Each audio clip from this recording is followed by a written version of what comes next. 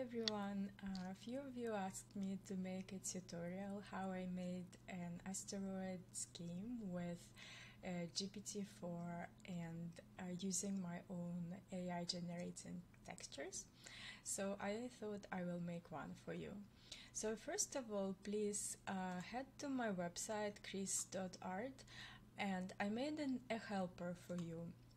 So if you come here, find uh, Make Games with GPT-4 Asteroids in Open Processing, and if you click, I made this um, just to help you with prompts and everything. So first of all, we are going to ask GPT-4 to generate code for us. And it will take a little bit of time, so while it will be doing this, we are going to do some other things.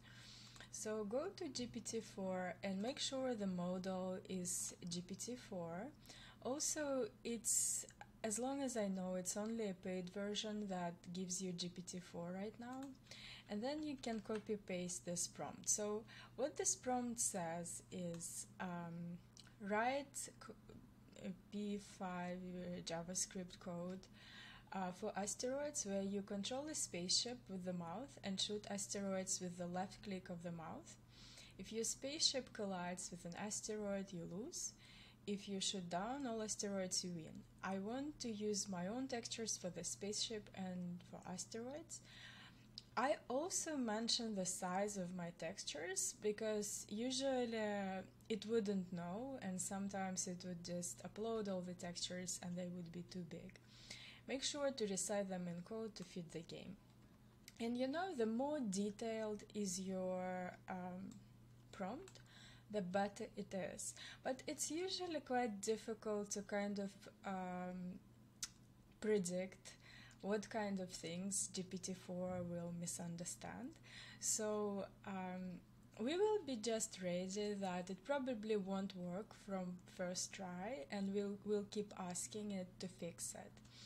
So while this is uh, generating, let's go back to my page and I, I offer you three prompts. Um, two of those I actually really like. Those are my like favorite go-to game asset prompts. Of course, you can ask GPT-4 to generate some assets for you and that's actually really fun if you will do that and I'll show you at the end how you can ask GPT-4 to do it.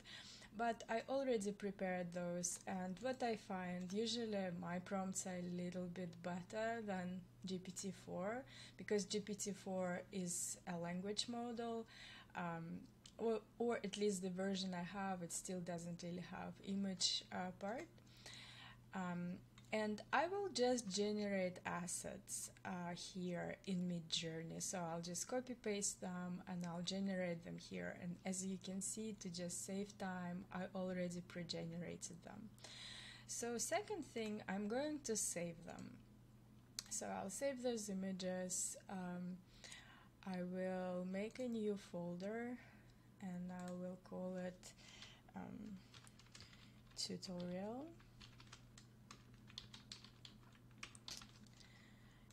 And um, I'll save an asteroid image then I will save the spaceship image and I will save the background image. And I will open it in browser to make it just large. And now let's keep checking if um, GPT-4 is still thinking um, at some point it will stop generating and probably it won't be finished. So we will need to type continue so it would continue. But it's still thinking and I will just go back um, to open processing. And open processing is a nice platform. It's very easy to use where you can just copy paste your code and uh, if you use something else, it's totally fine. This tutorial is just for complete beginners and if you've never ever wrote a single line of code, open processing is just very easy to use. You can create yourself um, account and then create sketch over here in top right corner. And here one important thing is that before you continue, you actually need to save it first. And I will call it tutorial asteroids and submit. Uh, and then you will get this. It's like a test project, which you don't really need.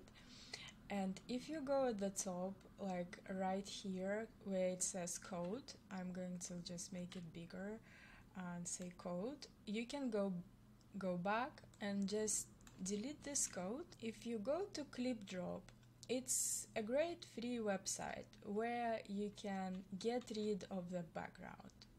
Because the assets we have right now, they all have backgrounds and we need them to be transparent. So I will go to tutorial folder and here we have two assets we need to clean our background uh, which is a spaceship. And if we just drag it here, it works automatically, which is like magic. I absolutely love it. And then to just press download and save as and make sure you save it here. What I like doing so I don't get confused, I will just replace my asset with this one transparent one. And I will do exactly same thing with um, my uh, asteroid. So here it goes, and yes, and download, and again, save as, and I'm going to replace this with my asset. So now we have two assets. Um, I'm going to go to the folder and just check them. Um, GPT games tutorial I'll just check them and see yes it's it's cut out and it's it's great but also you remember how when we asked GPT-4 we promised it that we will have textures of this size. If we don't write it, what happens sometimes because it doesn't know texture sizes, what it would do, it would just use those large textures and then the game won't work. It will be just this huge, huge asteroids and a very large uh, spaceship. So I'm going to just change size so it's a little bit easier for it. And there is a website called birme.net. It's also free. Um, I'll just move myself here and uh, browse from computer. And I'm going to just uh, open this files here and I will choose width and height to 512 to 512 and I will say save files. So now they are much smaller. So it finished generating so we will just copy this code, copy code and go to tutorial and just paste it and then we will um, copy the last tiny bit of the code. Let's see. Okay. And we know that it finished because it says that it's finished. Control V. And here uh, remember just one more time you need to save this project first before being able to drop files uh, otherwise it doesn't let you drop files. So I already renamed files to asteroid and spaceship um, to make it easier for me to type and then I will just upload them here and make sure that um, I change the names, I change the path to spaceship and asteroid like this and let's see what happens. So here, as you can see, this is not bad, but there are a few things that we need to fix. First one, that the bullets stay on the screen.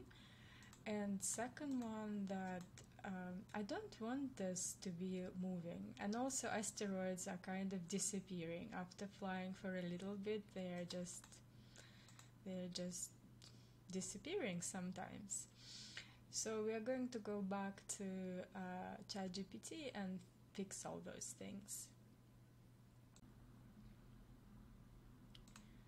Alright. And here we are. It is working. It is working really strangely because you have to like almost run away from asteroids and it just um, leaves those dots on the screen.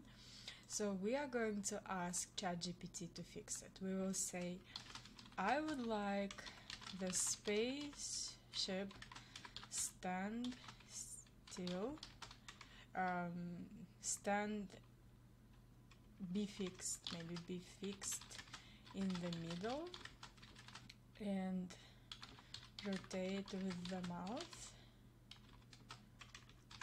And I'd like the bullets not to stay on the screen.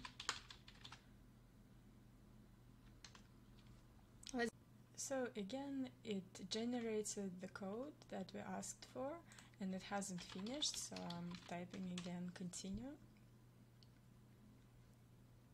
It sounds a little bit tedious but uh, sometimes it works almost right away and sometimes it takes a little bit of uh, working on it so let's do it. Um, let's just copy this code and it it rewrote entire code. So I will just copy paste it. I will go to tutorial and I will just delete it and paste it again. Um, you can either do it this way or if you really want to learn more about programming you can always ask um, to explain it to you or to write comments it's it's a very good way to to learn and here I'm just going to change my path asteroid PNG and see what happens so now, now we are talking. Now this is exactly what we want. And it's actually working really perfectly and it's not leaving any bullets and it works great. The only thing we need to change is to add the back, background because we generated it but we didn't ask ChatGPT to do it.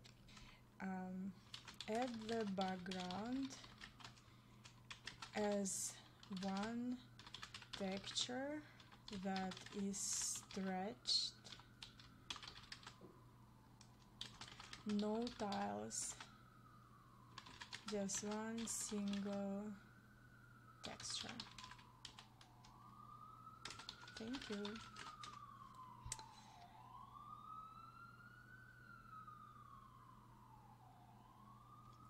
So here we will just do what it asks us to do. And while it's generating let's go to our project and just select um, select the background to make sure this it's here. And let's see. So you see here we already have those functions load image asteroid and spaceship. So we are just loading the background texture. So we will copy this and we'll add it right here. And second part it says we need to change setup.